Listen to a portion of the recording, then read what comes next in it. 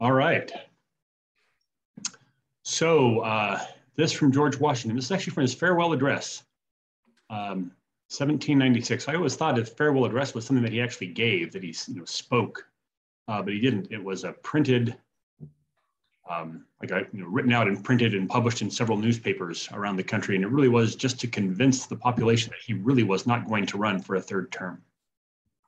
And uh, he brings up this question, can it be that Providence has not connected the permanent felicity of a nation with its virtue? Felicity, of course, means happiness. So he thinks, you know, it, you know, is it that God has not connected the permanent happiness of a nation with its virtue?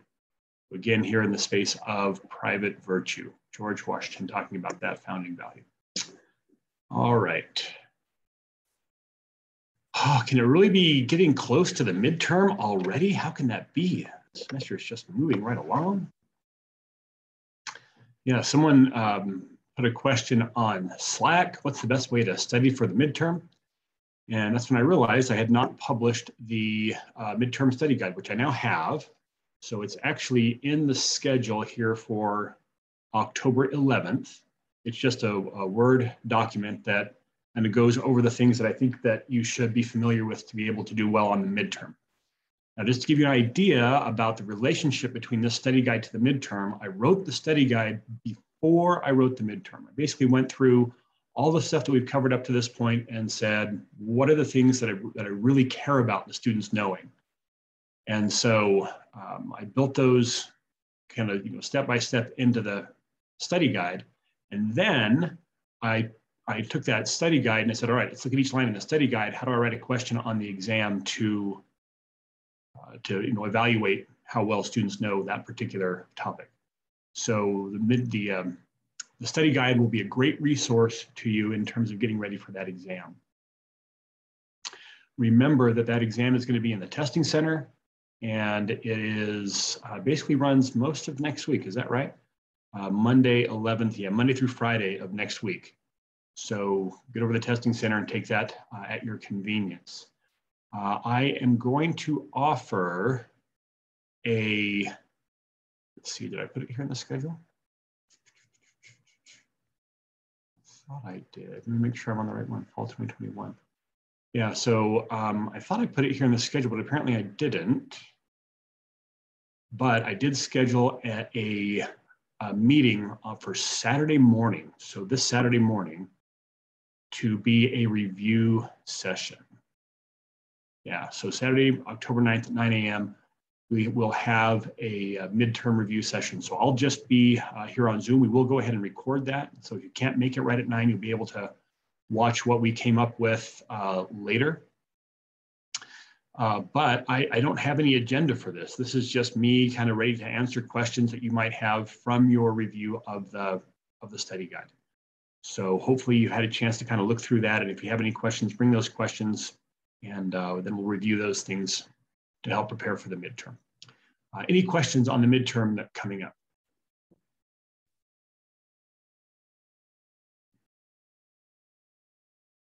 Do my best to kind of keep an eye on chat. So the question was, what was the time? Uh, for the study guide or for the no, sorry, is the midterm, is it timed? Oh, the midterm is not timed.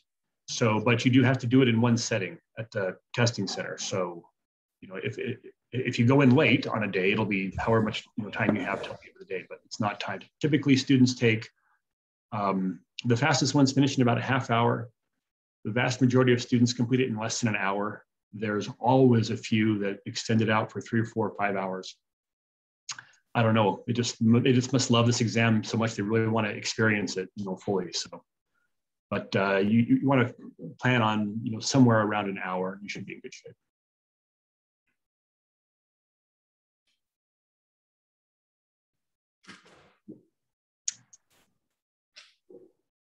Okay, let's go ahead and get into today's content. So there's a file to download for today's class. So let's see, today is October 4th, looking at uh, various built-in functions. So go ahead and download transactions.xlsm. Now I, for the first time, in my case, when I downloaded this file today, uh, it wouldn't open until I, uh, you know, remove the blocking on it. So let me just, once you've downloaded that, let me just go ahead and show you what you have to do to get there. You may or may not have this problem, but whoops. Yeah, so I had to right click it and choose properties. Oh, and then unblock. Well, it might not have been this one. It might have been a different one. Yeah, never mind. You probably don't have to do that because I never unblocked it and it was working just fine. I think it was the, uh, I was reviewing the one from fall 2019 and that's the one that required me to uh, unblock it. So we should have that file open. And this will just be the example that we're working with as we're working on various built-in functions. So a lot of the functions we'll be dealing with today uh, are going to be with uh, parsing strings. And so that's kind of why we have some of this data is filled out and some of it's not filled out. And we'll go ahead and be working with those. So of course, a function is, um, it's just a, it's, it's, um, it's an algorithm that returns a single value. And so there's lots of built-in functions in Excel. There are, are in, in, in of course, in Excel, there are two, uh, but in VBA. And so we're going to be looking at some of the main ones for parsing string functions today, and then we'll look at anything else that you might have questions about uh, here in particular. If I go ahead and open up my code window here, we should see that we've already got a subprocedure built here that just gives us a loop that's going to loop through this data on our transaction sheet. So the name of this sheet is TXN, that's the code name. And so it says transactions on the name of the tab. But if we look over here in the Project Explorer, you'll see that its code name here is TXN. So we're using that to refer to the sheet that we're after. And we'll be starting on row two. That's where R is starting. And we're going to be looping through this until we've gone through all the data by incrementing R to go down to the next row each time. Right now, we're just printing what's in column two, which is the full name. So if I just run this code, should say that we're getting through and, and um, printing off those 278 or 279 different values. All right, so uh, our first job then today is going to be able to split out this first name and the last name. And so to do that, we're going to be looking at column B, and there's several different ways that we can go about splitting this. So I'm going to uh, start off by using the mid, the left function, the mid function, and the in string function. So let's just go ahead and in this code here, let's see if I can find my Sure. Okay, so this is going to be uh, first.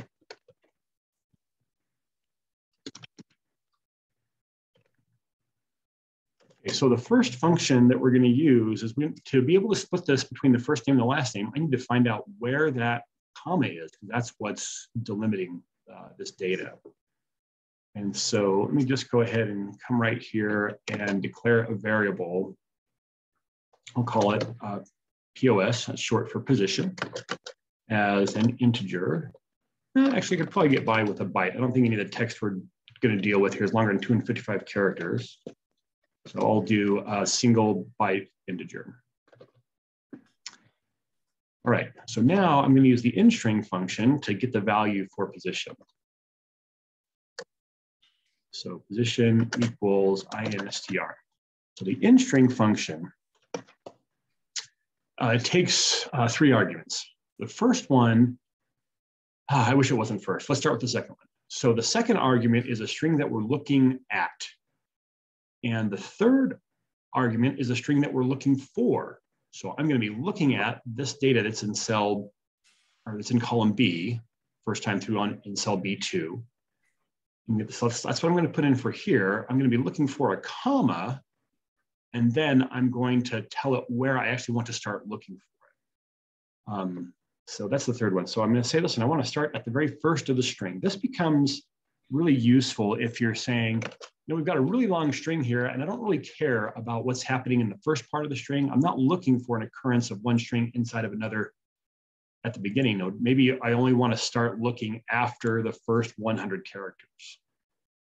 And so that's what this first argument says. Which character do I want to start looking with? And that's for us, we want to start looking at the very beginning.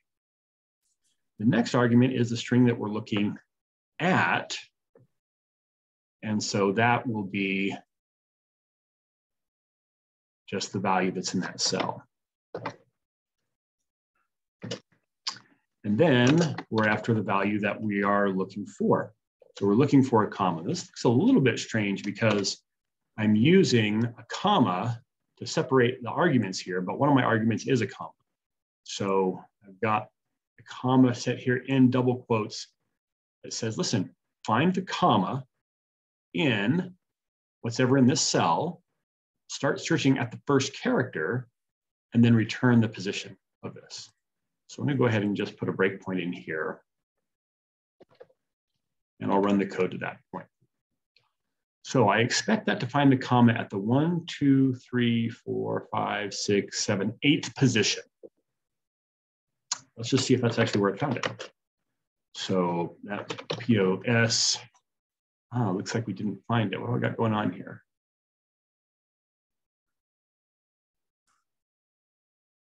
I think you need to change your column number to two. Oh, I'm looking at column one. Thank you. Let's try that again.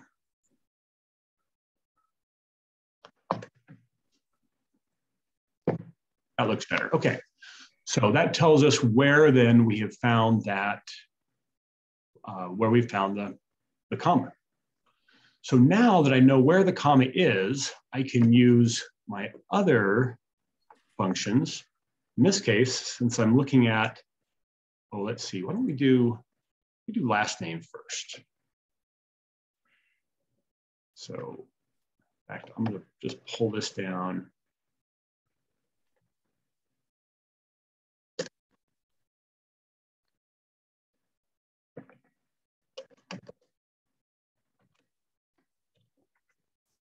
What I want is I just want the left most characters.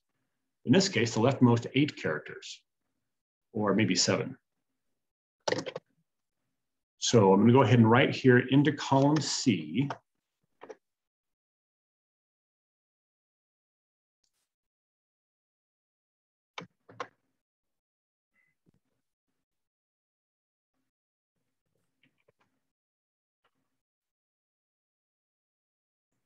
Something doesn't quite seem to be feeling right about my editor.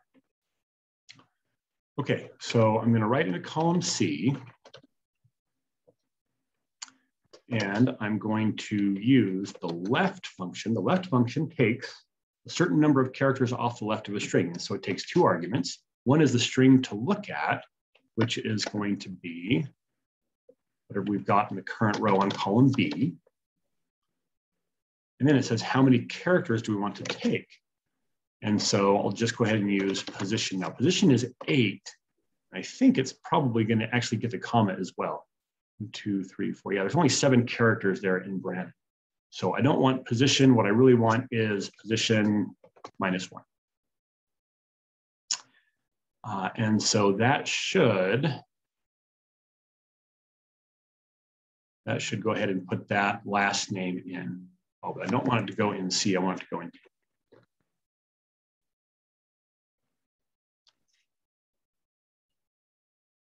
Ah, excellent. So let me just go ahead and run that one out now. And we're pulling off all of the last names from that full name, putting it there in column B. Any questions about how either in string function works or about how the left function works?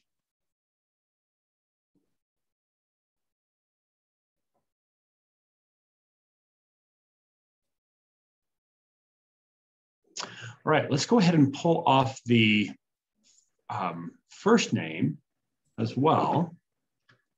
And so that's going to go in column C.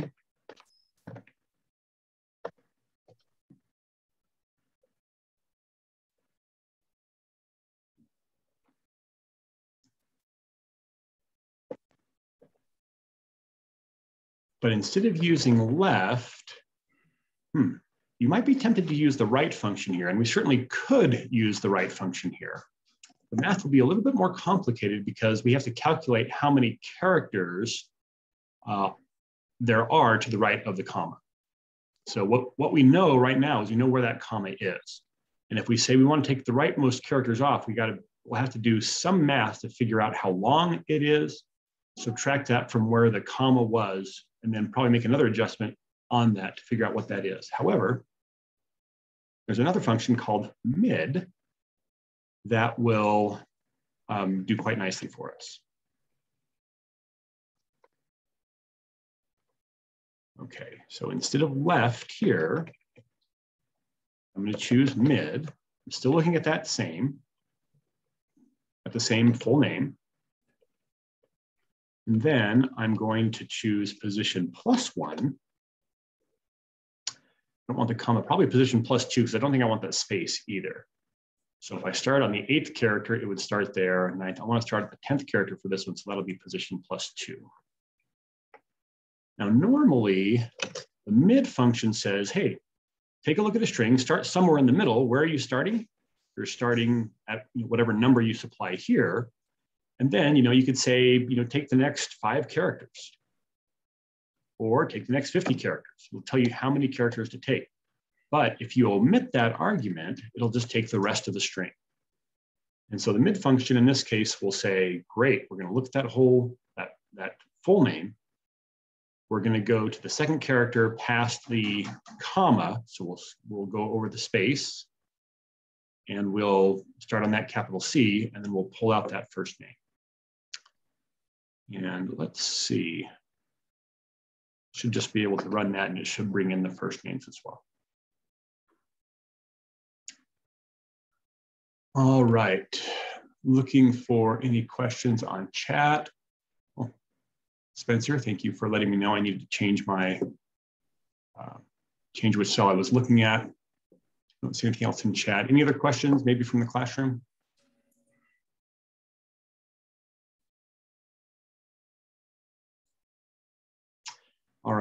Let's, just so we can get some experience with the, uh, with the right function and the length function as well, let's go ahead and look at the other way that we could do this. So I'll copy this line. And instead of using the mid function, I'm going to use the right function. Now here, I've got to figure out how many characters there are. So maybe I will run it right up to this point. We'll do a little snooping around. Okay, so my position is eight. What is the overall length of that string? So the len function just takes uh, really any expression and tells you how, how long it is. So there's overall there's 16 characters. And what I'm really after is C-H-I-L-T-O-N. So I need those seven characters. So it looks like I need to take the length minus the position and then subtract one more off of it. Is that right? So take the length minus position minus position That's going to give me eight, and we'll subtract one more off. That should give me the number of characters that I need to take if I'm just using the right method to get it, the right function. Instead of position plus two, it will be length of that same string minus position minus one. Let's go ahead and clear out this first column. and then run that again. So another way to get at the same uh, value there.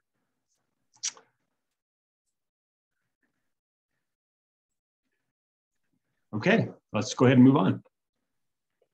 And what I'd like to do here in the phone column is I would like to look at Um, this, this one standard approach to doing a phone number, I'd like to convert it to this approach where we put the parentheses, where we put parentheses around the area code.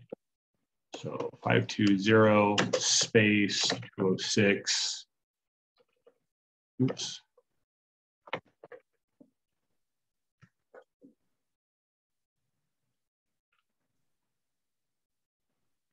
Hyphen 6847.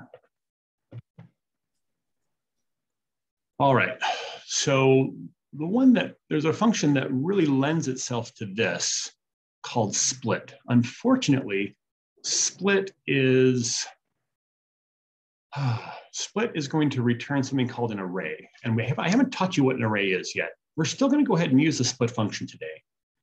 There'll be some part of it that may seem a little bit mystical to you because we haven't really covered what's happening in the background or, or the, the actual value that it's returning but I promised to, to do that. It's uh, coming up. We're actually going to spend two days on the concept of what an array is. Let's just go ahead and see how we might use the split function today, even though we're not going to fully, uh, even though I'm not expecting you to fully grasp everything that's happening on this one. So instead of stop, let's go ahead and do phone number.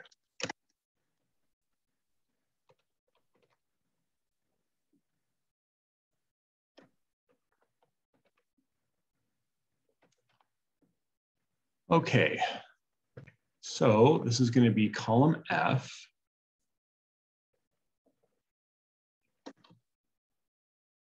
And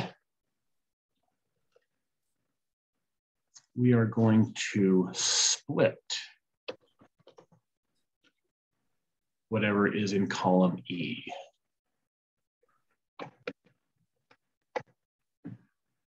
So what the split function does is it takes a string,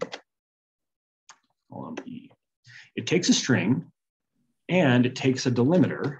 So in this case, I'm going to put a hyphen in for the second argument.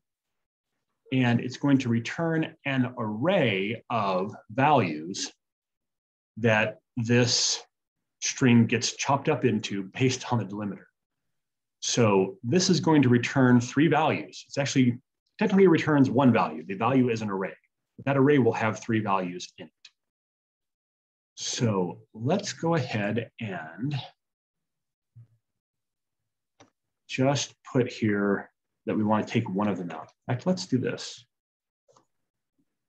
Maybe let's run to this point. I'm not sure let us run this far. Yeah.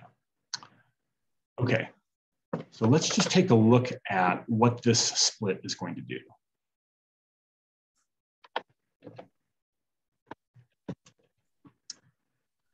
So if I try to print this, it's going to tell me straight away that it doesn't like it. Type mismatch. It's not a very helpful error message.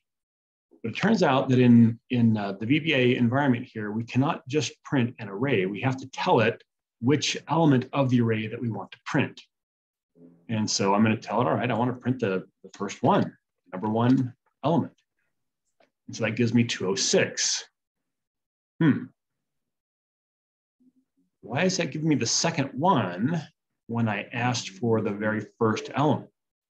And the answer is that in VBA, oh, arrays begin counting at zero, which seems a little bit strange because when we've worked so far with collections, they begin counting at one. But in this case, we've got zero. So the first one is zero. The next one is uh, well, then strike that. So the zeroth position is 520. The number one position is 206. And the number two position then should be the third part of that. Okay, so now I realize that if I put here in parentheses after this call, uh, put a zero here, that will pull that area code off. So that's looking pretty good, but I do also want to get those parentheses in there. So I'll go ahead and put an opening parenthesis, an opening parenthesis, and concatenate on uh, the area code and then a closing parenthesis.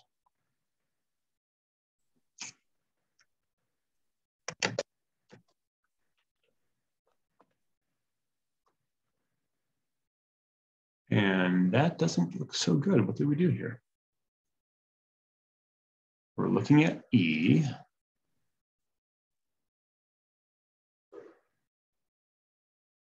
I don't see what I've done wrong here.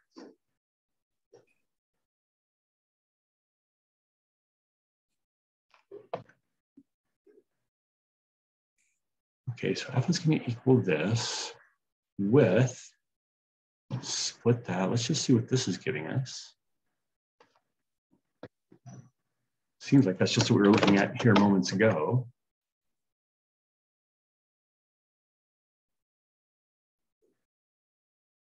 The M on that current column, R is two.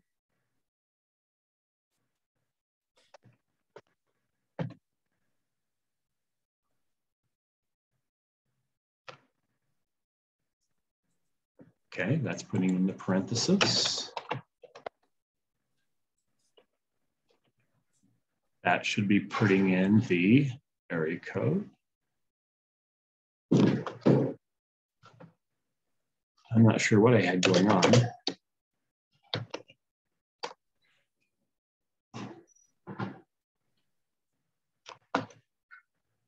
Oh, I see what it's doing. Uh, it's looking at those parentheses. and it's assuming I'm using those parentheses to indicate that I want a negative number here. So it's this is just Excel converting that 520 into a negative number that's okay. Once we get the rest of the uh, the rest of the phone number on here, uh, that won't happen. So let's go ahead and put a space here. And then let's concatenate on the next two elements. So I will just go ahead and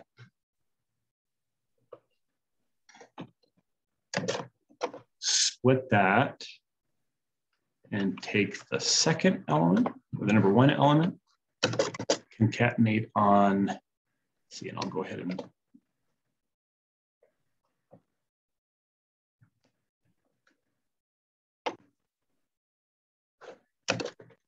put on the hyphen.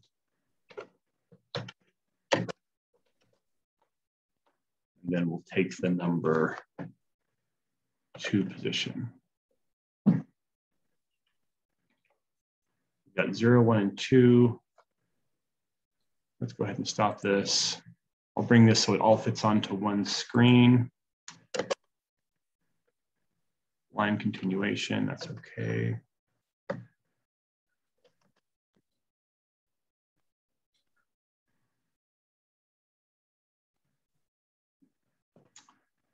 And if I run that, I think we're going to see that it then goes and reformats that phone number the way that we want to except for one thing. What's the problem? Looks like we've got a space here in front of the five, uh, in front of the area code. Well, good news is there is a function to just to deal with uh, leading and trailing spaces. So we'll use that. So right here is where we're pulling out the area code.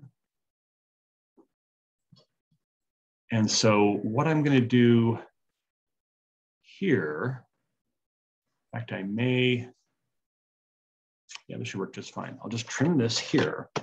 There's a function called trim that just takes off any leading and trailing spaces.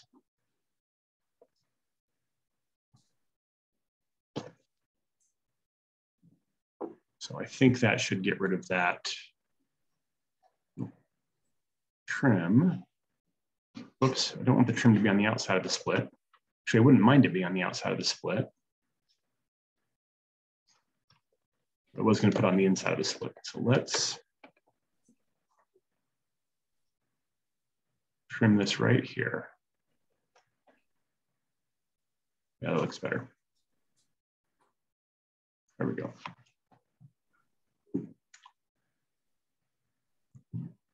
Let me go ahead and just highlight the argument that's inside the trim here. So you can kind of see the whole call to trim. So trim just says if there's a space in the front or a space in the back, just go ahead and get rid of it. Uh, not just a space, but any number of spaces. So let's just go ahead and put some kind of a string here. Extra spaces on the front.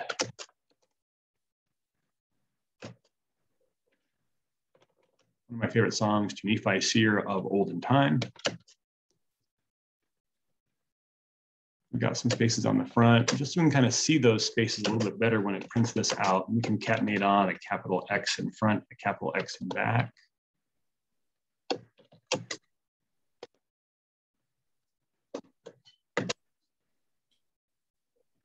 So we can see that even though I've got all these spaces here, trim takes them off both the ones in the front and in the back. There is, if you're only interested in the ones on the left-hand side, there's another function called ltrim, which will trim leading spaces. And you might also imagine there's an rtrim, which will trim trailing spaces. Any questions on the trim function?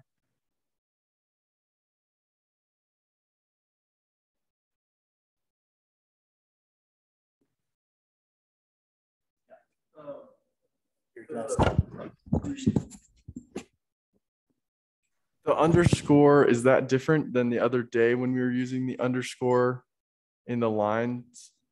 Is that like, do you have to have a space there? Right, yeah, so this underscore is just because I've got a long statement that I want to break onto two lines. So the space needs to be before it and then the underscore.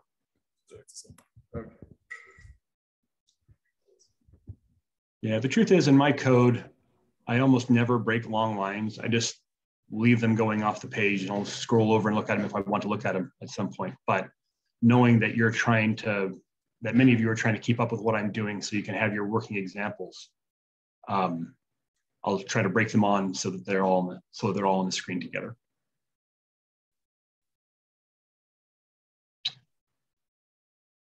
Okay, what if I had like extra spaces in the middle that I wanted to get rid of? So if I'm going to go this back to trim, trim takes all the ones at the beginning at the end, but doesn't touch any of these that are in the middle. Ah, is there anyone here who's familiar enough with the functions that are built into Excel, not to VBA, but built into Excel that knows, oh yeah, there's a function that does just that. There is, there's a function that will do what trim does here, but not only that, it will take any time we've got multiple spaces inside of a string and it'll collapse those down to a single space. Do you know what that function is? Substitute. Substitute, I think lets us look for a character and replace it with another character. This one is specifically dealing with spaces and it will take off leading spaces, take off trailing spaces, and it will condense spaces on the inside um, sequential spaces on the inside of the string down to a single one.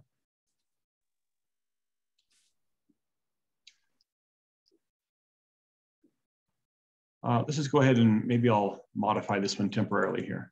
Put a bunch of space here before Huntsville, put some spaces after it, put some spaces before it. So yeah, there's actually a function called trim. It's the same name as the one in VBA, but it behaves quite differently. You know, it still takes the trailing, leading and trailing spaces, but it deals with this spaces in the middle as well. Well, it turns out if that's the functionality that you're really looking for, then you know we can we can actually invoke those functions that are built into Excel from VBA. So let's take a look at how we would do that. So instead of using trim here, I'm going to say worksheet, worksheet, worksheet function dot trim.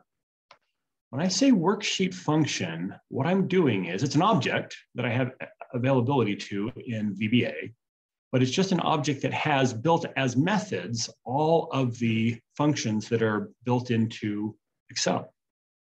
So there's a lot of them. And you know, if there's something that you know how to do in Excel and you're thinking, hmm, I wish I could do that in VBA, the answer is you can. So now I'm calling the trim function that's built into Excel with the worksheet function object. And that will collapse out this extra space here in the middle. Uh, there's a couple of caveats here with the worksheet function. Um, one in particular that I wish they had done differently, but let's take a look. So let's uh, do a worksheet function dot uh, rand between. So rand between gives us a, uh, it, chooses a, a random integer from a normal, I'm sorry, from a uniform distribution, um, beginning with the first number we give it and ending with the second number. So it's just randomly picking a number between one and 10 each time I run this. See a question about application.trim, uh, and we'll take a look at that here in just a moment. So let's take a look at, uh, so I'm invoking rand between. Now, what is the function in Excel that just gives me a random number between zero and one, pulled from a uniform distribution?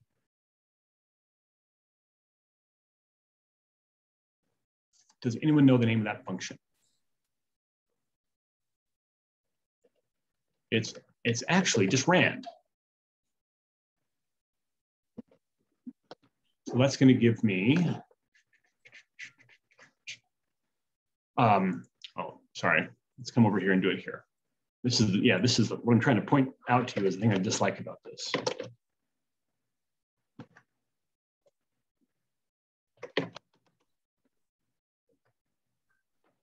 Oh, great, put in the wrong place.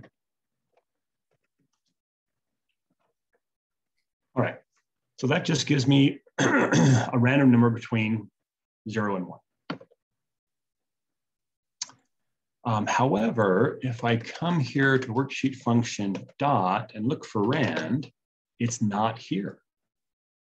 Wait a minute, why is rand here? And the answer is that because there's a function already built into VBA that does that same thing, you're not allowed to invoke the one from Excel. Presumably because it's going to be more efficient uh, if you call it from the native environment. So if if you're wondering why isn't there why why is this function not available, the reason it's not available is because there's a native function for it built into VBA. And it might take a little extra Googling to figure out exactly what that function is. Um, but that's, that's just kind of a little warning about that. Okay, so we have a question over here in chat.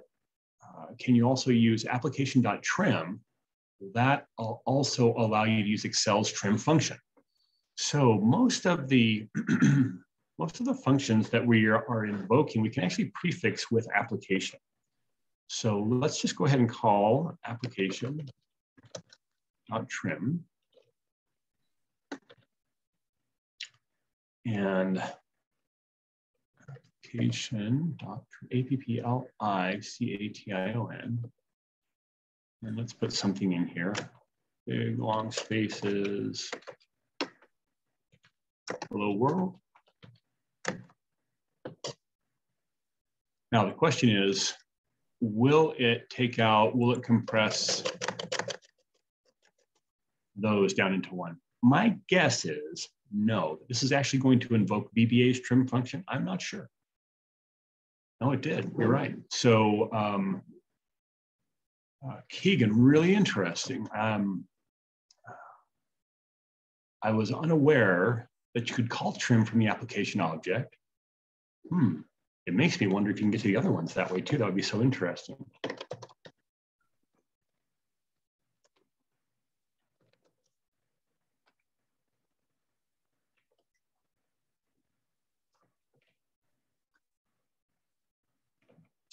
Yeah, wholly unexpected. So that's neat. Yeah, it's apparently it's invoking the same functionality.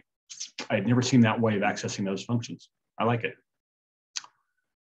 Okay, other questions here?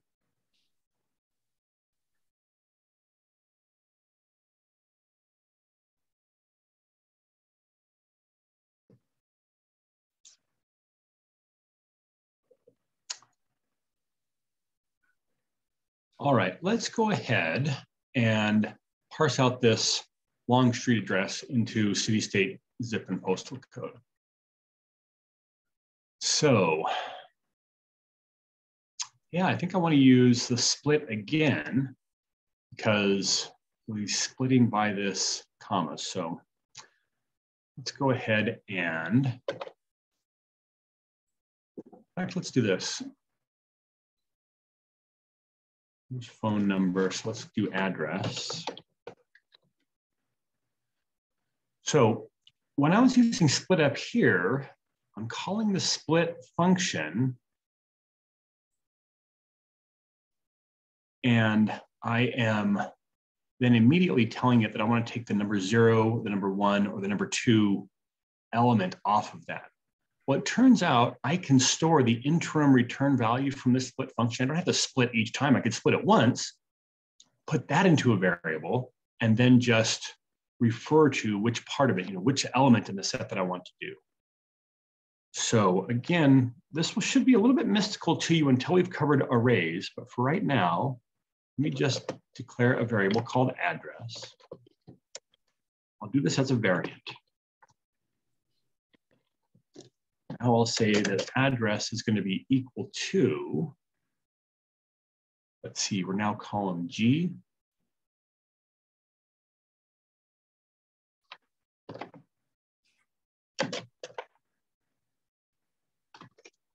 And we're going to split that based on the comma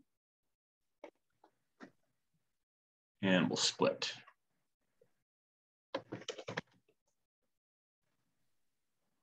Actually, it looks like there's a comma and there's a space after it. So I'm going to make the delimiter to be two characters.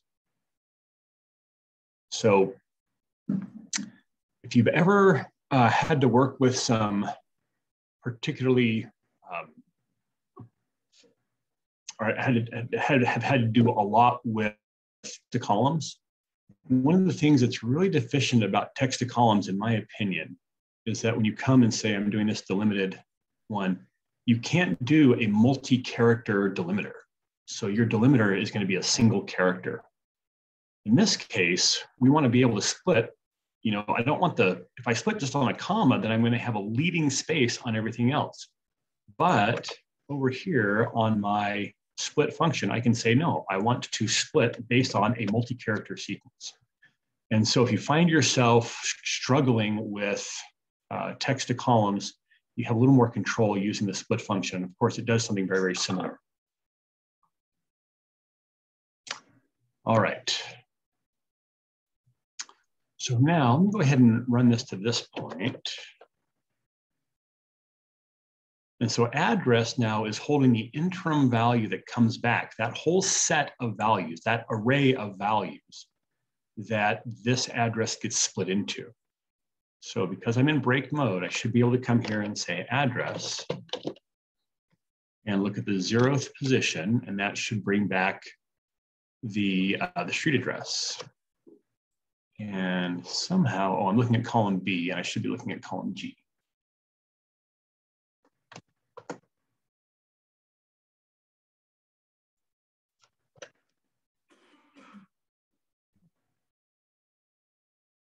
Um, so rather than having to split each time I want to pull a value off of it, I can split it and I'll hold the results of the split here.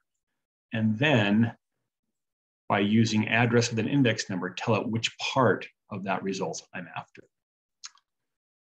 All right, so street address city state, that should be pretty straightforward. H-I-J, H, at least H and I will be pretty straightforward. So let's go ahead and put in column H uh, is just going to be address one, no, address sub zero. This is H.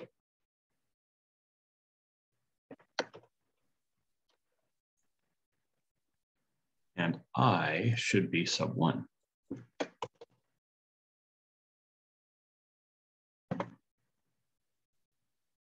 Go ahead and run those two.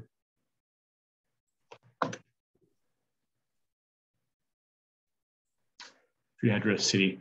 Now, problem with state is that there's no comma before the before the um, zip code. So what I have in my third position now of my address is actually the state and the zip code.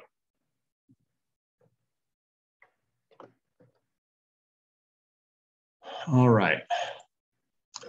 So at this point, I think I'm probably done with the first part of the address. So I'm just going to go ahead and reuse that address variable. So I'm going to say address equals split. Now I'm going to look at the address two. I mean, this is this is the next part that I'm after, address two here. So I'm going to split address two. Now this time based on, oh, trouble with basing this um, by just splitting this based on a space is I'm going to have a problem when I get to a city like New York. Uh, because I need to split this based on the occurrence, the last occurrence of the space. So I can't just, I don't just want to split this because if I split it, then I'm going to end up with my zip code in the number three position or the, I'll have new in the number zero position, York in the number one position, and the zip in the number two position. Hmm. So let's just go ahead and look at this one called in-string reverse. So we've seen in-string that tells you the position of one string inside of another string. Well, in-string reverse does the same thing. It just, instead of looking at the beginning of the string, it looks at the, it starts looking from the end of the string. So I-N-S-T-R-R-E-V. Uh, this one, interestingly, doesn't tell us where to start looking from the back. It assumes you're starting from the very back. So we're going to be looking here at address two. We're going to be looking for space. And that should tell us where it finds it. And it's not liking what I have here, so let me comment this out.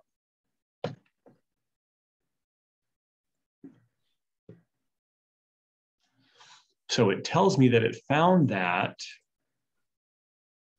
uh, in the eighth character. Now, it is not the eighth character from the right, it's the eighth character from the left, I think.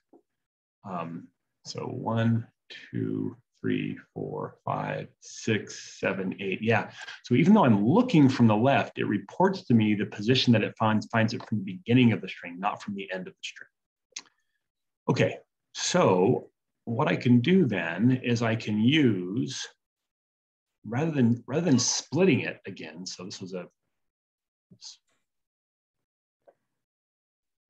this was a bad idea. But here now, um, I'm going to go ahead and just write into column J.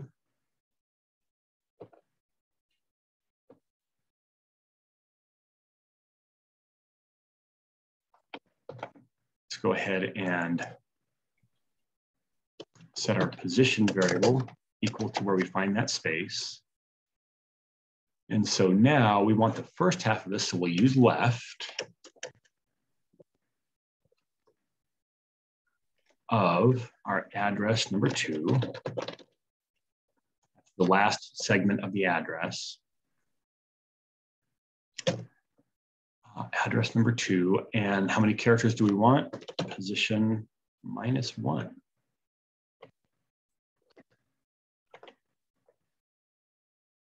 And that should go into column J.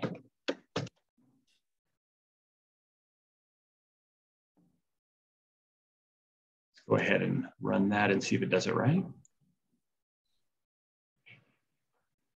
Help if I had that spelled correctly.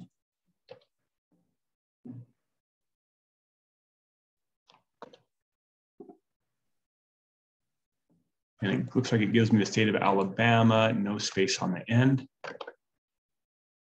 So let's just go ahead and use something similar to get the postal code.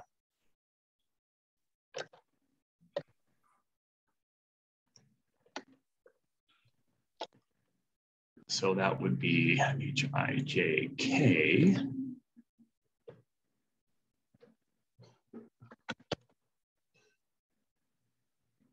And we'll use the mid of address to beginning at the position plus one.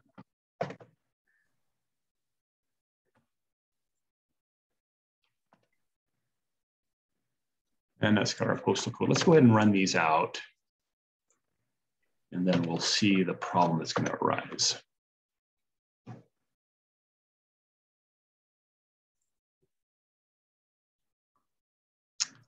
Uh, and we see the problem right here. So postal codes are, they're numeric, but they're always five digits, which means that if we've got a leading zero, we've got to show the leading zero. And when we write something with a leading zero, whoops, like 0, 2, 4, 5, 8, 0, 2, 4, 5, 8, Excel looks at that and says, oh, you silly user, don't you know that the zero on the front of a number doesn't mean anything? And so it takes it off for us. Um, and the reason is, is because it's actually storing that as a number. And if it had to, to store the fact also that on that number, you want to keep some, some leading zeros in front of that, it's going to make things a lot more complex to store it internally. So it says if it's a number, we're going to show it as the simplest way we can show the number, which means no leading zeros. Uh, so let's just go ahead and do one more thing on the, this will be column L. I'll just go give myself another comment here, full postal. Uh, and you can kind of, you can get around that. You can force text to be or you can force numbers to be respected as text by putting a single quote. Oh, that's really ugly. By putting a single quote in front of them. Let's take a look at that before I run this. Let's come back. What have we done? Yeah, so if I came here and I was to put in single quote and then a zero, then it recognizes that as um, characters rather than a number as as text data. And so it shows that it, it stores it as text. So we get the zero in front. Interesting thing is that it's not like, oh, wait, you've actually put a single quote in the value of that cell. No, you haven't, because if I was to ask for what the uh, value of the active cell is, this is really kind of a strange thing about Excel.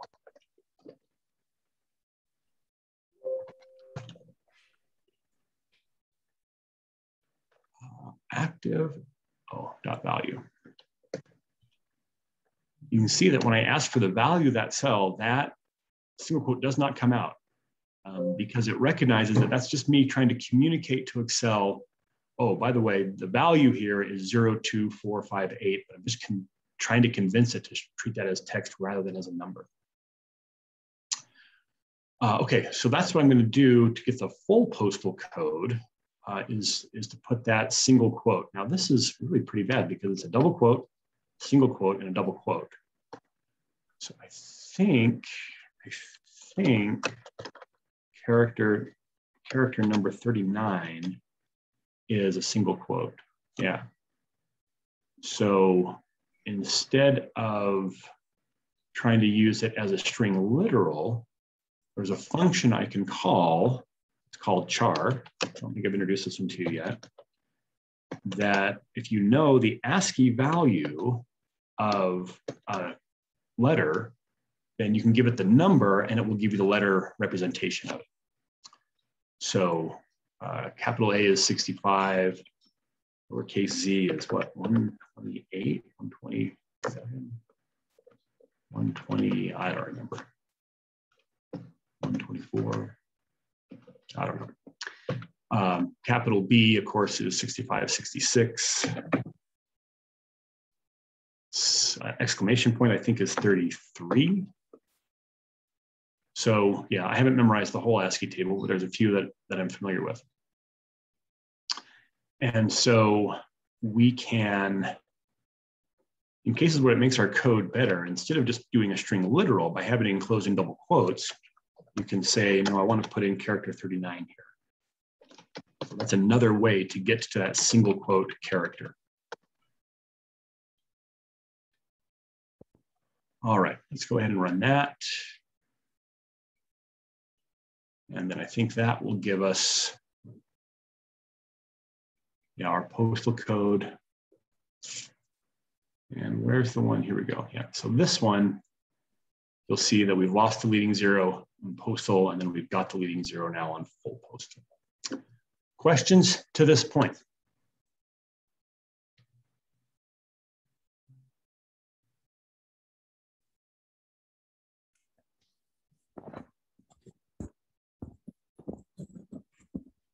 So my code is working fine. The difference is when I do, when I ask it um, how what the value is at um, on address two.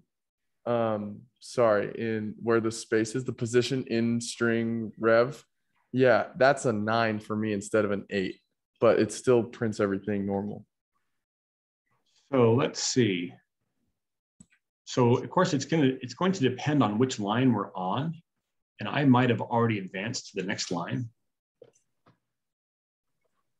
I'm not sure. Oh, no, I think I see what it is. It's probably because you're splitting based on a comma rather than the comma and the space. If you split on the comma, you just scroll over a bit.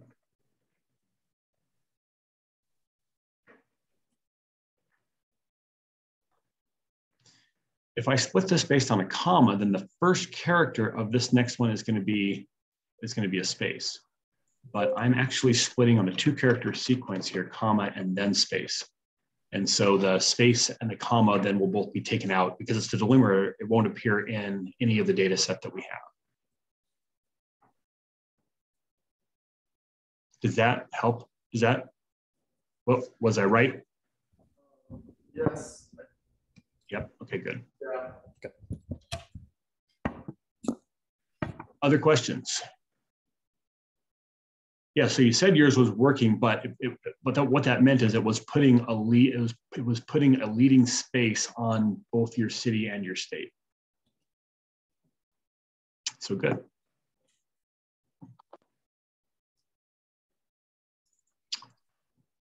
All right, let's see what's next over here. Oh, we've got some dealings with email. Oh yeah, this is one, this is kind of the bane of my existence. Let's go ahead and take a look at, uh, and here at email. So we are on M2, active, that's our active cell. So let me just see if I can look at what the leftmost, if you look at this, you probably see that there's there's a space at the beginning of this data. So let me look at the active cell. Value. And maybe I'll just put a capital X in front of it so we can see. You can definitely see we've got something going on here. So let's go ahead and trim that and see if we can get it to go away. Uh, and the answer is no. That space is somehow impervious to the trim function. What kind of an evil, wicked space is that? Oh, this is exactly how, like when I export your emails from, um, from AIM, like when I go, oh, I got to get the emails for my students it comes with this kind of a strange character here at the very front of it. So let me just see if I can find out something about what that character is. So instead of trimming it, let me look at that. Let me just look at the leftmost character.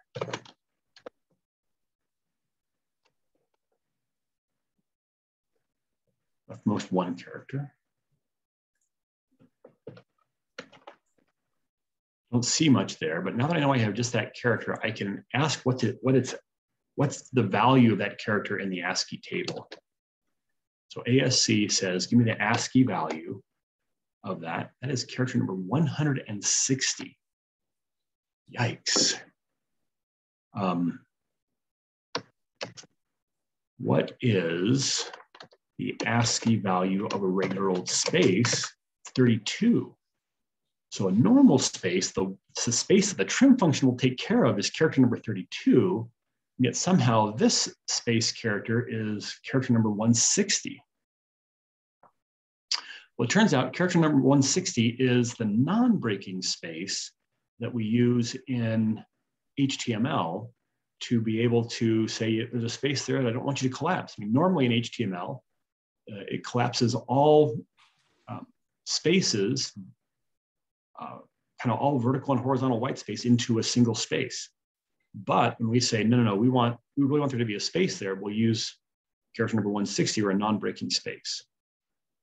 And so unfortunately, it ends up being a space that looks like a space. Uh, and because we do so much stuff, kind of moving data in and out of HTML, it ends up being a character that we have to deal with from time to time. So let's just go ahead and see what we would want to do to be able to get rid of that beginning space. Almost looks like there's two spaces at the beginning.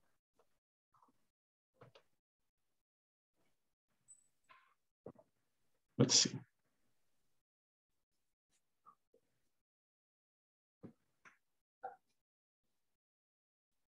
Okay, let's try up here. There we go. Yeah. So it looks like there's two spaces. I'm not entirely sure that they're both 160. So let's take a look at the Let's do the left. Let's use the mid of this, starting at the second character and taking one. Yeah. So starting at the first character and taking one, second character, starting at the third character and taking one. So let's say we got two 160s, then followed by the email address. So 99, apparently lowercase c is number 99. Okay, so what I want to do is I want to replace all occurrences of character number 160. Hmm, I could either replace them with a space, which would convert the non-breaking space into a normal space that I could then deal with, or uh, I could just go ahead and get rid of them altogether. Fortunately, there is a function that's meant just for that. Let's go ahead and take a look at it. So in this case, we're going to be looking at the email address.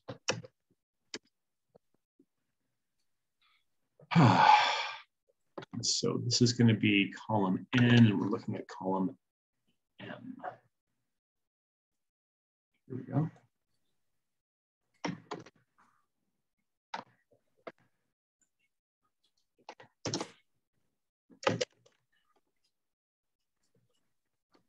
All right, so this is the string that we want to do something with. And so I'm going to call the function called replace. So replace says we are going to look at some string. Here's a string we're looking at. We're going to find something and we're going to replace it with something else. The next argument, uh, which I almost never use. Oh, yeah, where do you want to start again? Are you going to look through the whole string or only starting after a particular character? Uh, you can you can ask how many you want to find. Just do the first, do all of them. Do the first two, whatever. Uh, and you can even tell it if you want to match case or not. So this last argument here lets you say it's a binary comparison, case is going to matter. If it's a text comparison, case isn't going to matter. And I think the database comparison looks at some other setting on your system um, to decide whether a case is going to matter or not. Let's leave all those extra, all those extras off, and we're just going to say we are looking for now here, I'm going to say we're looking for character number 160. And we're going to replace it with a zero length string. And so that should get rid of those leading to spaces. And if they had, I guess it would have been just as fine to use the mid function here to start at the third character because well, I'm not entirely sure there's always two characters. It looks like there's always two characters at the beginning. But this way just says, listen, if you've got a 160 in there, get rid of it. Um, so let's go ahead and run that.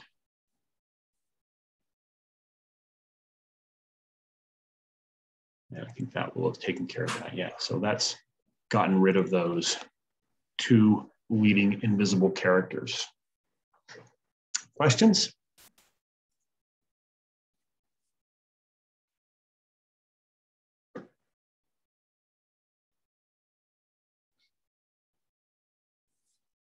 All right. What else we got going on here? So the WMI, the World Manufacturer Index, I think is what that stands for. Uh, the WMI is the first three characters of a VIN. So let's just go ahead and plug in the WMI. So let's see.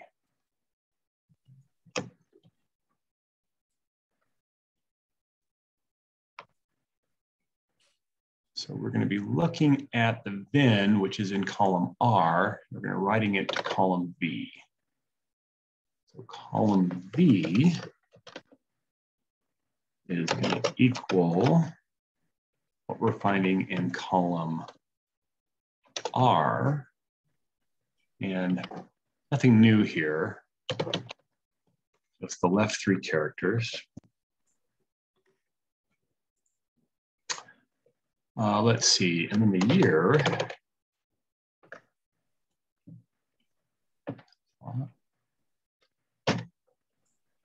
Is, I think it's just a 10th character, is that right?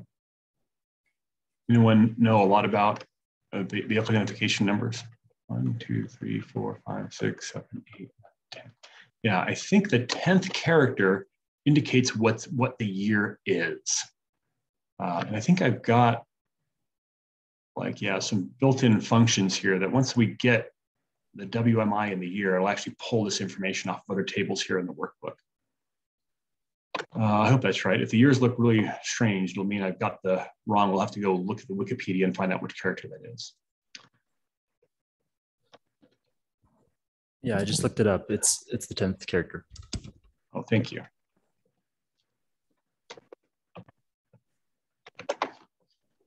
So let's see, I'm going to be looking at RSTUVW.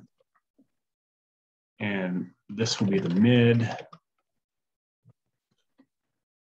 of R starting at the 10th character and taking one character. I think this will fill out our table. Yes, we get the country the car was manufactured in, car manufacturer, and then the model year, these look right. 2010, 2012. Okay.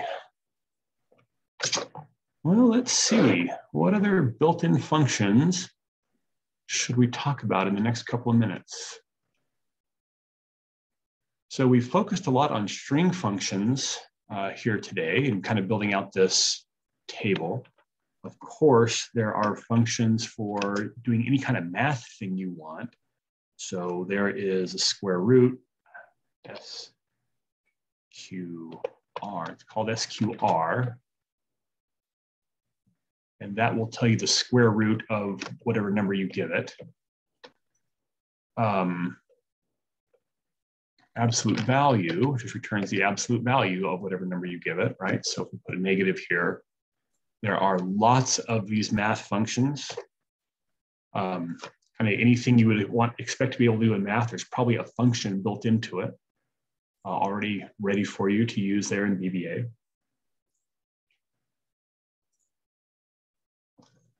Just make a scan over what the VBA string functions are.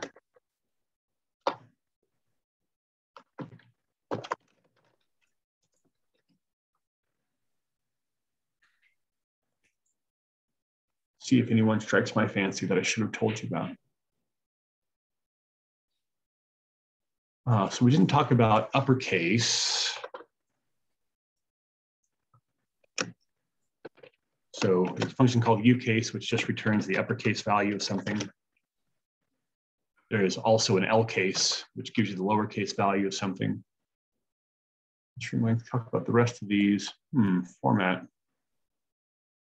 So format's going to be used for uh, formatting different things. I don't know this one well enough off the top of my head to show it to you. All these different formats, mid, replace, right, split. Space is kind of an interesting one. Space will return a string consisting of the number of spaces that you suggest. So space 100 will give you a string with 100 spaces.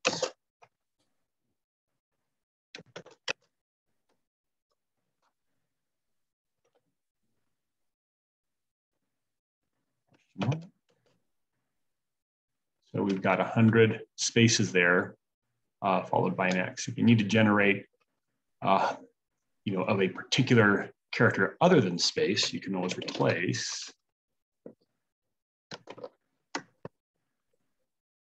maybe you need 100 hyphens. So look for a space, replace it with a hyphen. And that's what you end up with.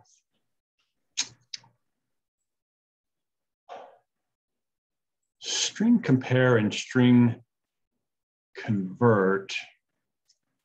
String compare is interesting because it will uh, give you the results of a string uh, it, will let you do case insensitive comparisons of strings. So that is kind of nice. Uh, string reverse just reverses a string. Trim in case. I think we've covered most of these. The ones we haven't covered are kind of obscure. All right, I think we'll call that good for today. We'll take one more chance at asking questions. I have a quick question. Yeah, Spencer. So we kept copying that TXN. What does that do? Ah, so TXN is the identifier for the sheet that we're working on. So if we look at the sheet name, it says transactions. That's the, the name of the sheet here on the tab. And if I was going to refer to it like using the sheets method, or I don't think I've shown you that one yet, worksheets.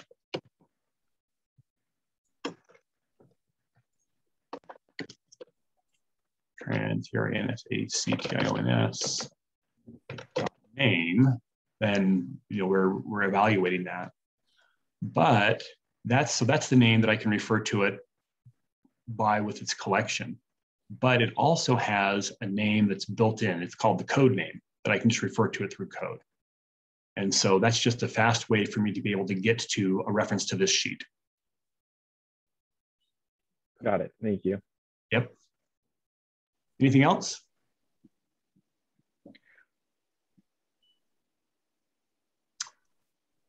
Okay, folks, I'm hoping to see uh, uh, at least a good number of you uh, Saturday morning on Zoom for a review for the midterm.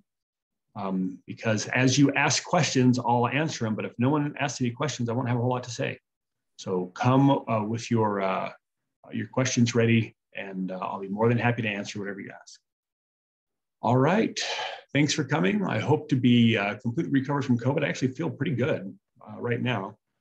But um, you know, I've got to be fever free for 24 hours once I've gone past 10 days of uh, my first symptoms. So cross your fingers, should be back in class on Monday. All right, talk to you later. Bye bye.